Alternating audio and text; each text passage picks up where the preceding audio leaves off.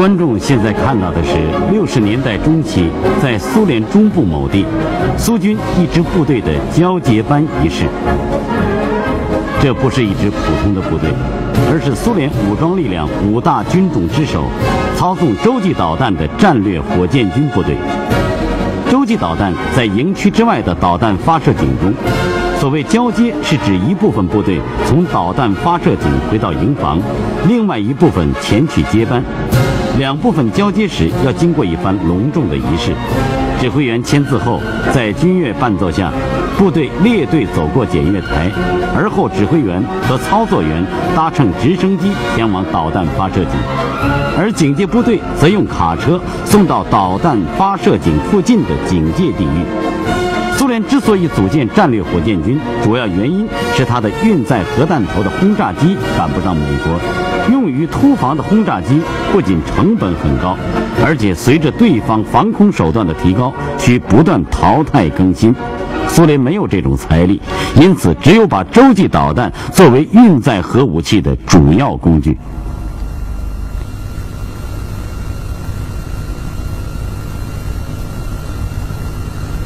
这是部队指挥员带着操作员下到洲际导弹发射井的内部，与值班的操作员办理交接手续。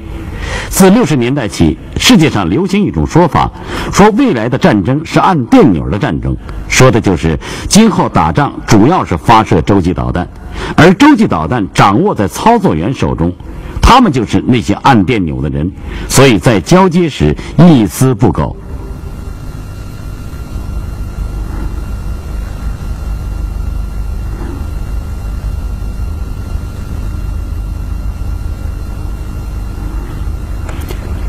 因此，作为上级机关，还要采取种种防范措施，防止由于操作员不慎而闹出大事故。苏联的第一批洲际导弹竖井在苏联的中亚地区的穆什科托夫地区。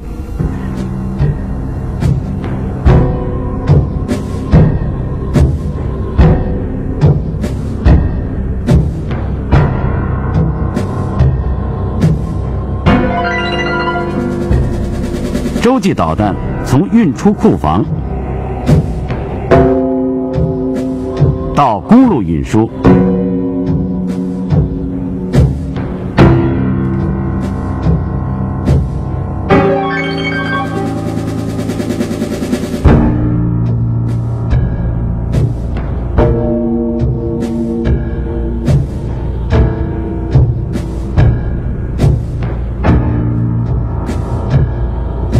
直至装入地下的导弹发射井，是一个复杂的过程。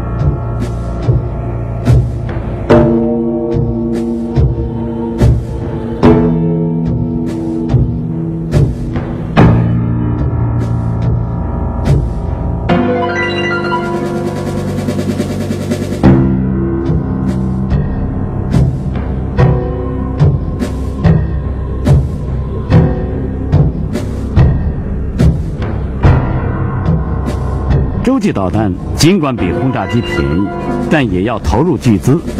赫鲁晓夫为了上洲际导弹，砍掉了一大批常规部队，此事遭致不少苏军将领反对。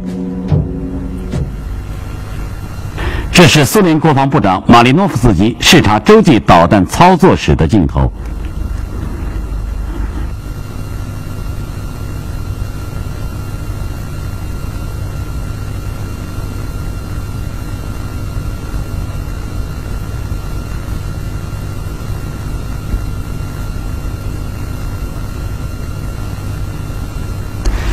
马里诺夫斯基原为远东军区司令，后接替朱可夫出任国防部长。他曾经发表文章批评赫鲁晓夫的导弹核武器政策。文章说，过分夸大技术的作用会造成巨大的隐患。不管导弹核武器的作用有多大，保持大量常规部队是必要的。但在赫鲁晓夫看来，运用导弹核武器才是今后战争的方向，而且苏联具备大上导弹的基础。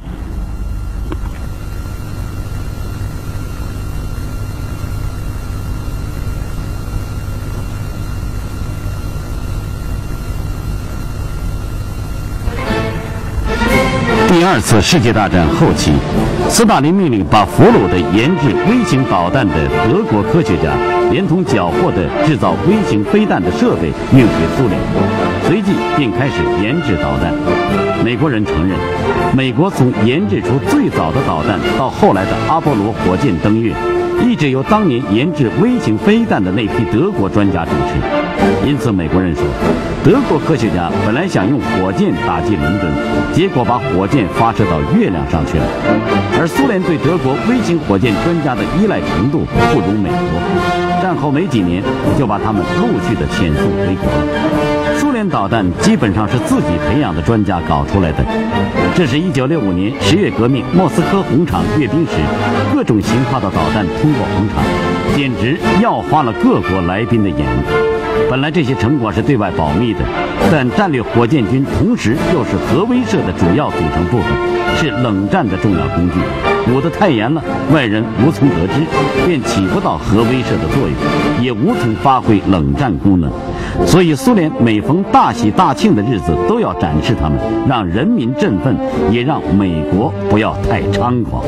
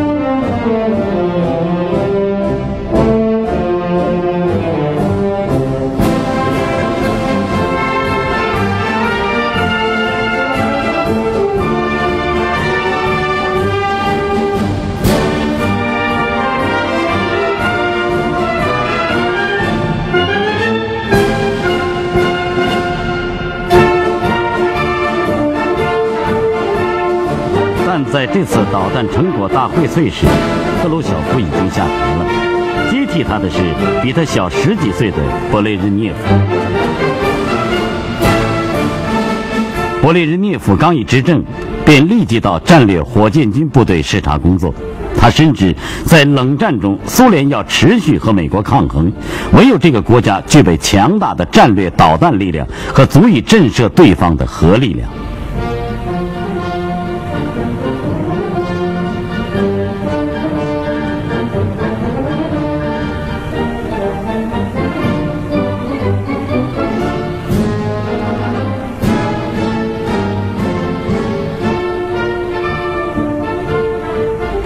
苏联开始了勃列日涅夫执政时期。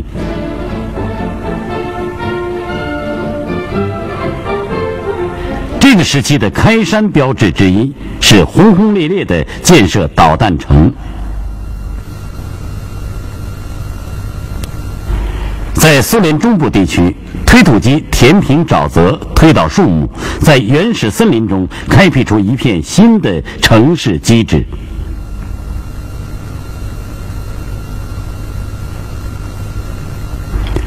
勃列日涅夫正是武装力量的现代化，在他执政时，肯尼迪已经遇刺身亡，约翰逊继任总统。这一时期，美国进一步扩大侵略战争，苏联援助越南抗美救国战争的主要武器是防空导弹，这就更刺激了苏联导弹工业的发展。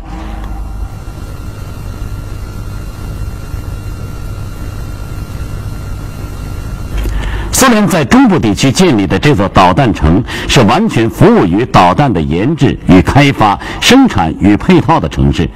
城市居民就是研制与生产导弹的军人及其他们的家属。这座城市与其他苏联城市没什么两样，绿树成荫，楼群林立，一派生平景象。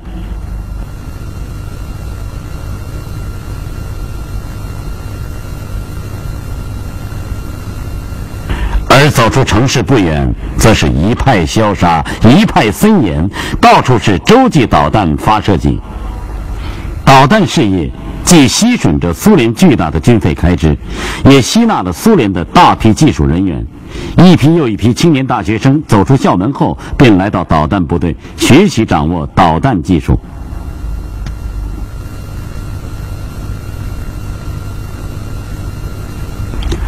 苏联原子能研究和洲际导弹研究的心脏是莫斯科郊区著名的波罗基诺实验室，而弹道导弹试验基地的所在地则是国家头号机密。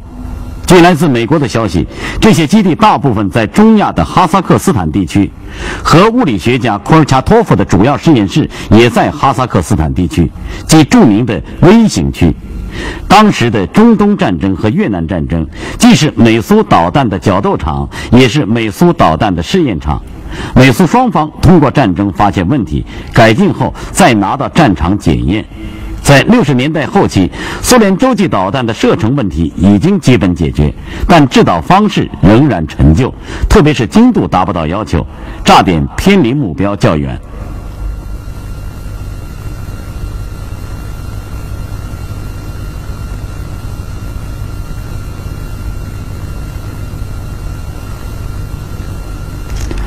核武器与核武器运载导弹两翼齐飞，苏联的洲际导弹事业逐步步入辉煌。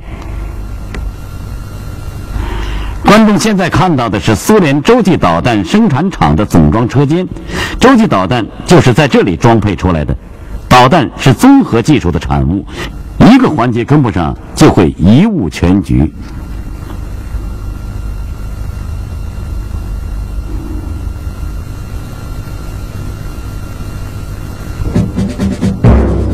美国情报部门在没有掌握苏联导弹研制资料时，曾经认为苏联市场上出售的日用品与美国同类产品相差很远，可见苏联的基本技术指标全面落后于美国，因此它的洲际导弹也不大可能是第一流的货色。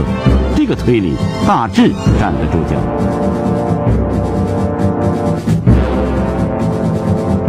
事实上，苏联科学家能够解决导弹的射程问题和一般制导问题，但像反导弹技术、预警技术、多弹头分导技术等，就总不能取得突破。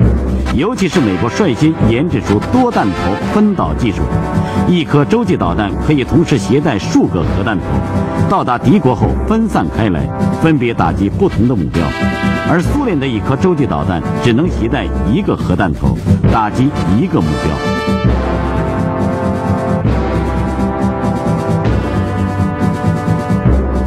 每当国际形势紧张时，美苏双方都拿出洲际导弹来吓唬对方。美国用自己的导弹警告苏联不要玩火，苏联用自己的导弹对美国人说，不要让他们的儿孙成为军国主义政策的牺牲品。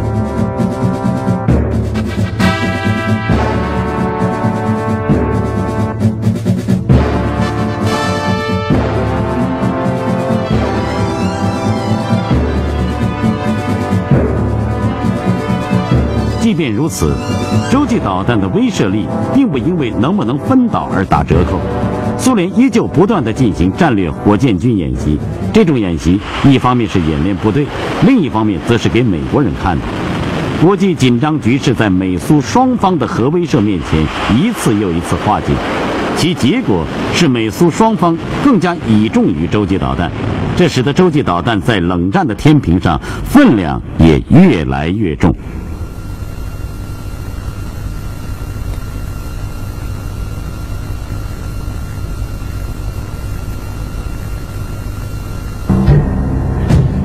这里是美国战略空军司令部，在美国武装力量构成中，实施远程核打击的任务由战略空军承担。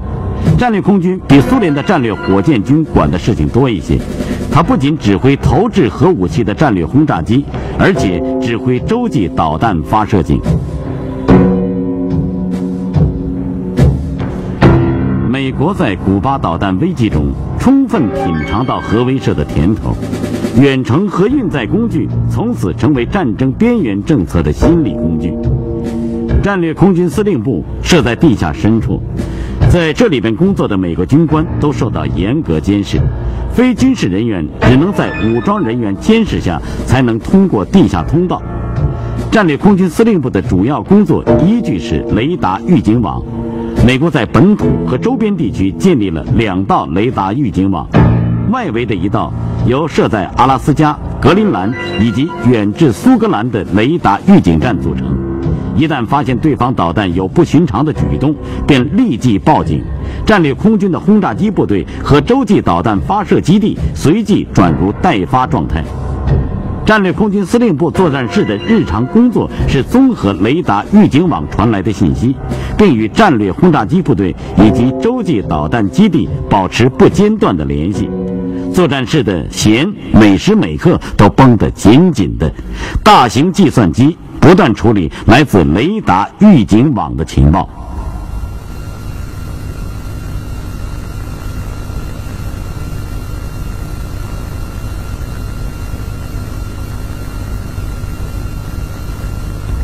二战有三大遗产，一个是出自于英国人之手的雷达，另一个是出自于德国人之手的飞弹，再一个就是出自于美国人之手的电子管计算机。计算机的第一个用户是美国军方，而现在它已经成为战略空军司令部作战室的举足轻重的角色。司令部一旦做出核攻击的决定，计算机就自动接替指挥，并以每分钟三千字的速度向核攻击部队发出指令。指令平时储存在磁带中，这种储存指令的磁带几乎每天都要更换，以适应军情变化。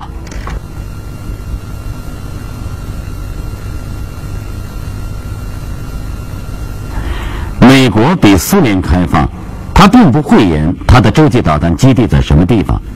这里是北达科他州的大福尔斯克导弹基地，有数千名军事人员在这个基地服役，其中有很多军官携带家眷住在基地内。这是他们中的斯威勒少校，他是负责十颗导弹发射的指挥官。他每次值班四十个小时，然后在家中住两天。现在他又离开家了。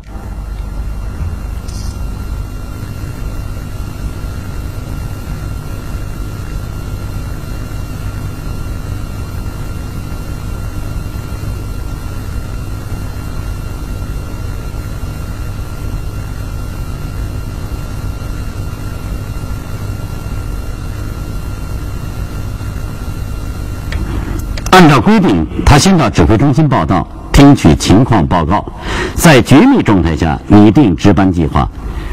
自进入指挥中心后，就不准单独行动，连上厕所也得俩人一起。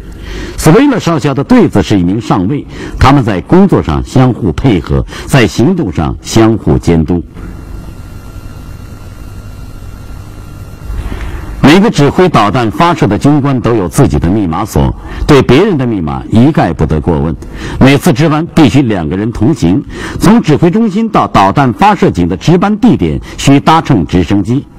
北达科他州在美国的北端，从这里发射的洲际导弹可以穿越北冰洋打击苏联境内的任何目标。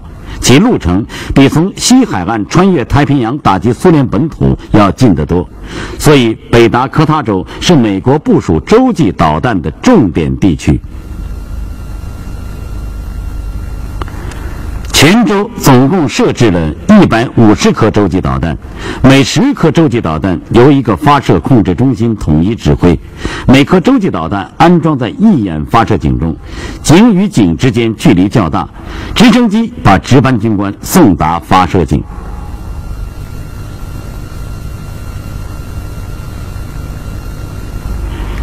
值班军官先进入发射控制中心的地面建筑，从地面进入地下需经过严格的身份检查，入口的门是从外面打不开的。除检验证件外，进门者还要对上密语口令，警卫人员核对无误后，门才能打开。然后两个值班军官乘坐电梯下到地下，经进一步受到盘问后，控制室的防护门打开。防护门不是普通的门，它重达七吨。发射控制中心的控制室里面有两台大型计算机，控制室内的交接班过程颇为复杂，分为几步。原值班军官首先向接班军官报告值班期间通过计算机了解的导弹发射井情况以及控制中心的工作情况。如果没有什么事，结尾的话是：计算机程序控制系统及通讯系统工作均正常，导弹在发射井中处于良好待发状态。而后原值班军官与接班军官交接绿盒子，这个盒子是控制室的心脏，里面装有战时发射导弹的密码命令和启动导弹发射按钮的两把钥匙。原值班军官从盒子上取下自己的密码锁，两名接班军官再用自己的密码锁锁上盒子。之所以用两把锁，是怕出问题，因为每个人只知道自己密码锁的密码，单独一个人是打不开盒子的。这是对值班军官的第一道保险措施。值班军官一旦接到作战命令，两名军官同时打开盒子，各自取出启动计算机的钥匙，同时启动两台计算机。单独一个人不能同时操作两台计算机，必须两个人密切配合，才能把导弹发射出去。这是对值班军官的第二道保险措施。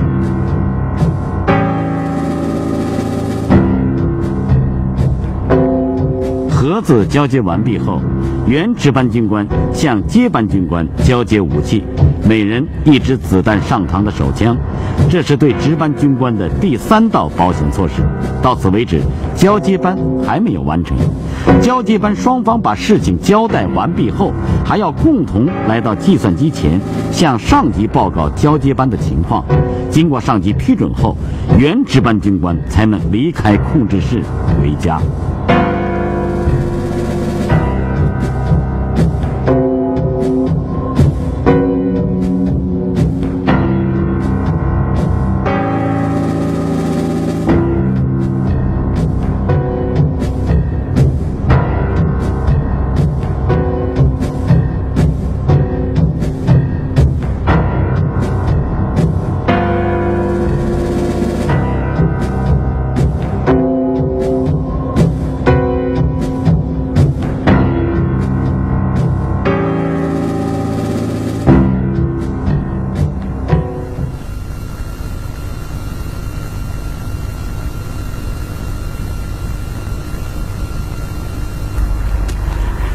导弹发射控制中心与洲际导弹发射井并不在一起。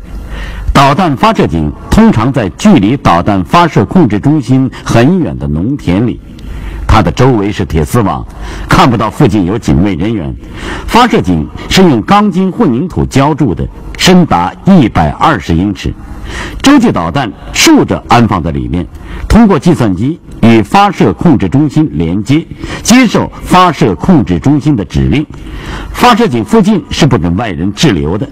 它有一套高灵敏度的报警装置，一旦外人接近，便会做出强烈的反应。美国的陆基洲际导弹总型号为“民兵”，战略空军司令部组织过几次民兵导弹演习。它的射程不成问题，已经基本过关。演习的目的主要是检验它的精度。据称，民兵在飞行几千公里后，误差控制在几百米甚至几十米。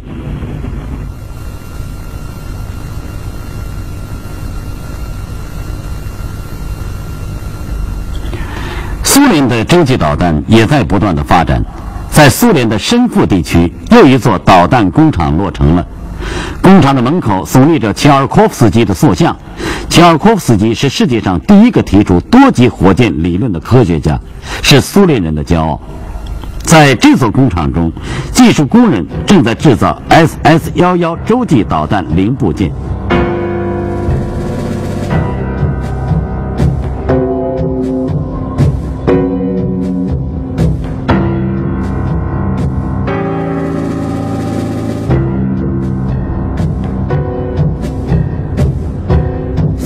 经发展出几代洲际导弹，SS-11 是其中一种。它的体积较小，射程勉强可以打到美国。制造方式陈旧，作为定型产品，可供改进的余地已经不大。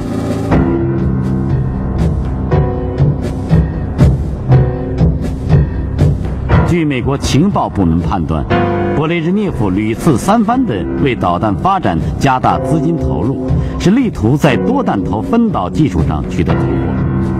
美国情报部门还认为，苏联的多弹头分导导弹不是通过开发新型导弹实现，而是通过改造旧型导弹实现。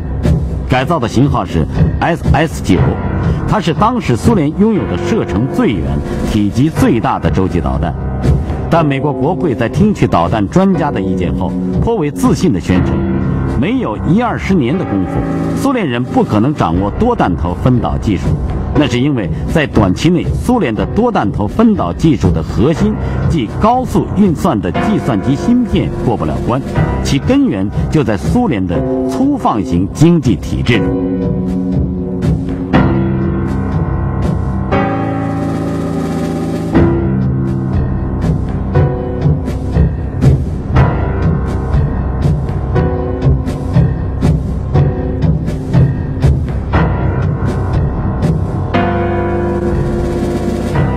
在六十年代后期，美国的计算机技术已经开始向工业领域渗透，并起着重要的关键的作用，而苏联的计算机技术还远远不复需求。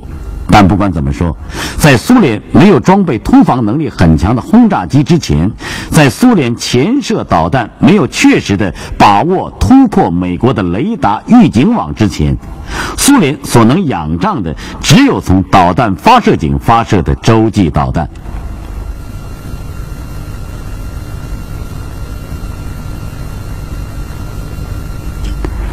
俄罗斯的严冬临近了，在零下三十多度的严寒中，直升飞机把指挥员和操纵员送往一个个洲际导弹地下发射井。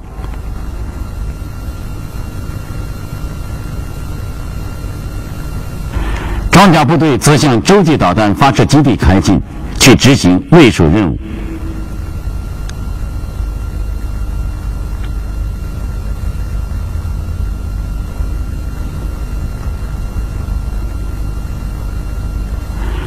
俄国人的严谨一点也不亚于美国人。首先是用密码进入地下发射井的地面建筑。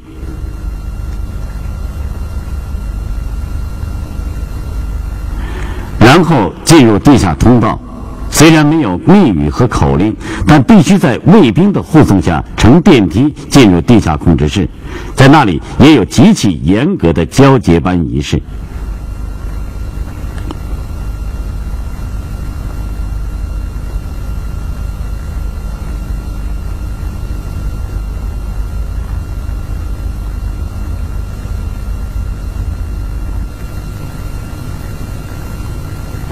美苏间的洲际导弹竞赛是世界上最残酷的竞赛。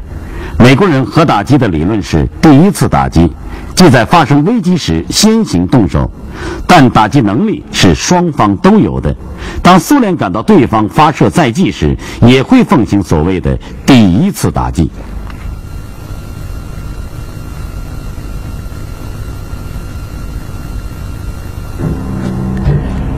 打击理论的含混。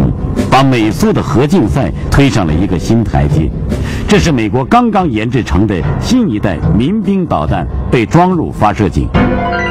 由于美国和苏联都没有在第一次打击中确实消灭对方进攻性战略武器的能力，所以新一轮美苏远程核运载工具竞赛是在更广阔的领域进行的，它包括预警能力、反导弹能力、反应能力等等。对这些能力的开发更倚重于软件，在这方面，美国远远超过苏联，但苏联的洲际导弹却压得美国人透不过气来。而就在这时，美国战略家提出了新的见解，这就是陆基洲际导弹发射井再隐蔽、再坚固，也经不起核打击，应该放弃它们，而把核打击的主要手段转入水下。于是，核运载工具的竞赛重点又从地面转入水下，美苏的冷战也由此转向了海洋。